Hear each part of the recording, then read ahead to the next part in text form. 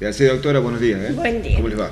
Bueno, la donación de sangre es una solicitud de un proyecto que hizo este, John, así que lo voy a dejar ahí que les Bueno. cuente cómo comenzó. Lo dejamos. John, que esta va a ser la segunda vez, ¿cierto? Es la segunda vez que lo organiza Rotary y hubo una tercera que se organizó a través del hospital. Ah, bien, cierto. Sí, sí, sí. John, cuénteme. Eh, no, simplemente tenemos una campaña de donación de sangre este sábado, es para el Banco de Sangre de Córdoba y um, va a ser de las 9 hasta las 13 horas en, um, en Jerónimo. Invitamos a todos los que pueden venir que vengan a, a- a hacer su donación. La donación es voluntaria y um, si uno dona una vez por año, corregime si me equivoco, eh, Tiene eh, sangre en caso de su propia necesidad. Sí, está cubierto por el banco de sangre por su propia necesidad de, de, uh, uso. Y um, si llegan a donar dos veces por, año, está cubierto la persona y su familia. Nosotros en este momento no podemos eh, facilitar dos veces por año, pero hemos facilitado una. Y, y si ellos van después al banco de sangre en Córdoba y donan sangre, estarán cubiertos dos veces. Entonces cubrirán toda la familia. Eh, John, contanos eh, cuál fue la experiencia esta del año pasado, ¿cómo le fue? Nos fue bastante bien. El Banco de Sangre estuvo muy contento con el hecho que teníamos 27, 27. 27 donaciones. ¿Es bueno eso? ¿Está, está Es- bien el número? Claro, es, el número es el que ellos pueden llevar y procesar Ah, en el momento, Sí. porque vienen eh, cuatro técnicos, este, un médico y cuatro técnicos, y un administrativo. El administrativo es el que este, facilita toda la base de datos, la médica es la que hace la entrevista privada con, con cada uno de los eh, oferentes y los técnicos son los que sacan la sangre. Entonces, bueno, es el número que se puede procesar, que ellos pueden mantener frío con el sistema móvil que traen y que pueden llevar y que además eh, cuando lleguen allá les permita este, separarla o dejarla en, en sangre entera de acuerdo a las necesidades que tengan en el propio banco. Perfecto. Doctora, ¿qui- ¿quiénes podemos donar sangre?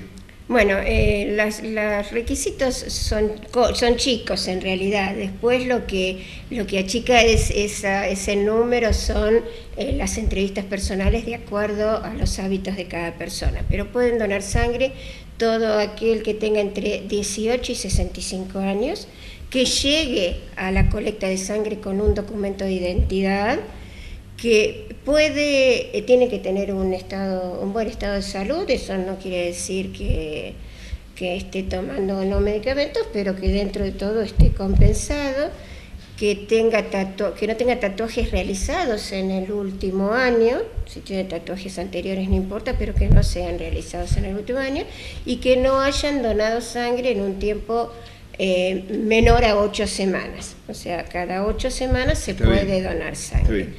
Después, en esa entrevista personal, bueno, se hablará de hábitos sexuales, de conductas, de viajes, de, de- de trabajos de las personas y O sea que antes de- del hecho en sí de la extracción hay una charla, una entrevista de hay promedio. una entrevista que lo hace privado y además confidencial, ¿no? Esto no se transmite a ningún lado, pero son ellos los que en algún momento van, en- de alguna forma van a determinar si vos podés y no podés. Claro. A ver, eh, John el año pasado venía de rehabilitarse hacía Sí, poco de una fractura, eh, le hicieron la entrevista, todo estaba bien, pero le sugirieron que por esta rehabilitación no lo hiciera esta Ah, vez, que lo sí, sí, hiciera sí. próximamente. Recuerdo que me lo dijo, sí. Pero bueno, Bueno, es importante lo que me está diciendo, doctora, sobre todo eso, quiénes pueden hacerlo.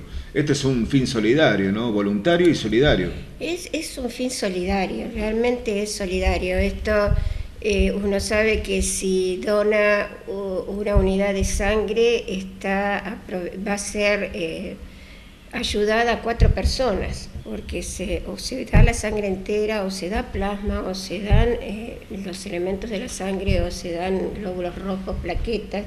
Entonces, bueno, eh, es importante que todos tengamos este, la idea de donar sangre, porque no, la sangre no se puede producir químicamente, no podemos ir a comprarla al laboratorio. Entonces, eh, la única manera de conseguir la sangre es por la donación.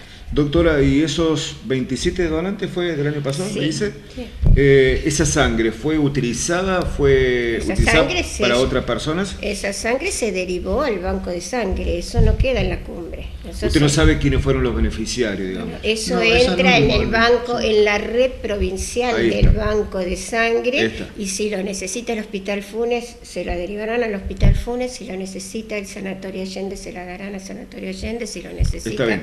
el Hospital... eh, Está eh, entendible. Ustedes no saben quiénes son los beneficiarios, pero esa es la finalidad. Pero de- de la cada, uno de nosotros quedamos registrados en un, en un registro, en un banco de datos, Seguro. donde eh, en caso de necesidad están esos datos para confirmar, bueno, a lo mejor este, quien nos pide sangre lo puede obtener de lo que ya dimos.